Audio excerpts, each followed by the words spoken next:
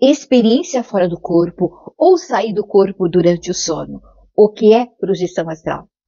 Para você que não me conhece, eu sou a Creuza, eu te dou dica da dinâmica da vida. Aproveita, me segue, estou sempre postando informações bem interessantes. Esse vai ser o assunto desse vídeo.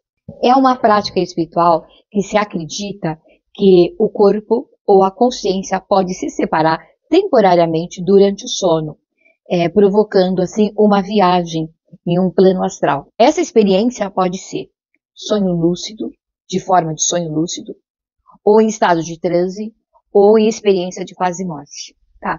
Então, um sonho lúcido, a pessoa está consciente que ela está no sonho e tem controle e, e tem controle nas ações no sonho. Estado de transe é uma técnica de meditação ou um relaxamento, aonde você fica meio em transe e com isso facilita a sua saída do corpo. Experiência quase morte é quando você passa alguma situação que você fica entre a morte e a vida. Então você consegue vivenciar essa experiência com facilidade. Conclusão: sair do corpo durante o sono ou uma projeção astral é uma experiência fascinante e é um fenômeno que desperta muita curiosidade é, de muitas pessoas. Mas essa experiência, ela não é semelhante para todas as pessoas. Ela pode variar de pessoas para as pessoas.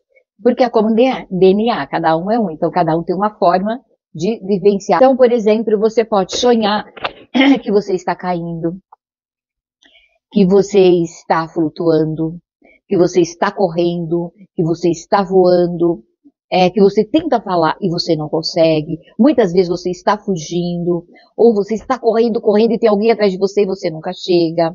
É, muitas vezes é, você tem a sensação que alguém vai te pegar você corre, corre, mas a pessoa não consegue te pegar. Sonho de perseguição persistente, tá? E muitas vezes também você tem muitos sonhos repetitivos. Sempre sonhando a mesma coisa, sempre sonhando a mesma coisa. Que nem sempre é um significado. Simboliza que o seu corpo está saindo.